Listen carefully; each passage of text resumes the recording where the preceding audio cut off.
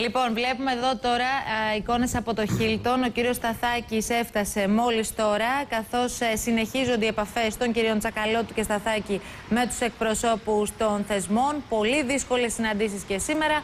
Βλέπουμε εδώ τους δημοσιογράφους. έχουν πέσει πάνω του και του κάνουν ερωτήσεις. Σε πολύ λίγο θα ξέρουμε και τι υπόθηκε ακριβώς και το μενού βεβαίως της συνάντησης. Στις 3.30 έχουμε συναντήσεις, θυμίζουμε, για το ελάχιστο εγγυημένο εισόδημα.